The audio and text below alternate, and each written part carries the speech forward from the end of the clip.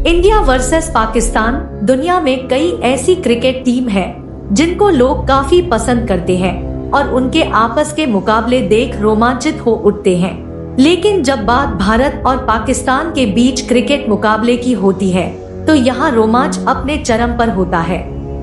भारत और पाकिस्तान के बीच 28 अगस्त को एशिया कप में मुकाबला होना है। इसके लिए प्लेइंग 11 में कप्तान रोहित शर्मा कई स्टार प्लेयर्स को जगह दे सकते हैं। आइए जानते हैं इन खिलाड़ियों के बारे में। ये होगी ओपनिंग जोड़ी। पाकिस्तान के खिलाफ मुकाबले के लिए कप्तान रोहित शर्मा के साथ लंबे समय बाद टी ट्वेंटी क्रिकेट में वापसी करने वाले के राहुल ओपनिंग करेंगे। ये दोनों ही खिलाड़ी विस्फोटक बैटिंग में माहिर हैं। इन प्लेयर्स के पास बड़ी पारी खेलने की काबिलियत है। अपना दिन होने पर ये खिलाड़ी किसी भी बैटिंग ऑर्डर की धज्जियाँ उड़ा सकते हैं। नंबर तीन पर भारत के सुपरस्टार बल्लेबाज विराट कोहली का उतरना तय है। कोहली बड़े मैचों के खिलाड़ी हैं। पाकिस्तान के खिलाफ हमेशा से ही कोहली ने धमाकेदार प्रदर्शन किया है। ऐसा रह सकता है मिडिल ऑर्डर। पाकिस्तान के खिलाफ नंबर चार पर सूर्य कुमार यादव को जगह मिल सकती है।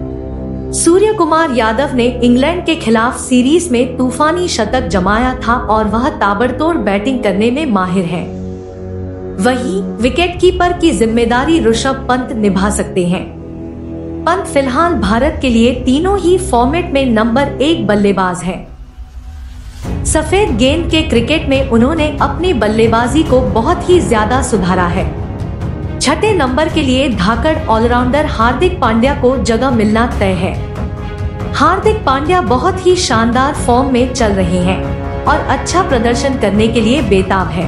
रोहित को इन गेंदबाजों पर है भरोसा। दुबई की पिच हमेशा से ही स्पिनर्स की मददगार होती है। ऐसे में कप्तान रोहित शर्मा तीन स्पिनर्स के साथ उतरना चाहेंगे। इनमें रविंद्र जडेजा, रविचंद्रन, अश्विन और युजवेंद्र चहल शामिल है। जडेजा गेंदबाजी और बल्लेबाजी के साथ साथ बेहतरीन फील्डिंग के भी महारथी हैं। तेज गेंदबाजी आक्रमण की अगुवाई भुवनेश्वर कुमार करते हुए नज़र आएँगे। भुवनेश्वर कुमार का साथ निभाने के लिए अर्शदीप सिंह को मौका मिल सकता है। पाकिस्तान के खिलाफ भारत की प्लेइंग इलेवन रोहित शर्मा, कप्तान के राहुल विराट कोहली सूर्य कुमार यादव, ऋषभ पंत, हार्दिक पांड्या, रविंद्र जडेजा, रविचंद्रन अश्विन, युजवेंद्र चहल, भुवनेश्वर कुमार, अर्शदीप सिंह।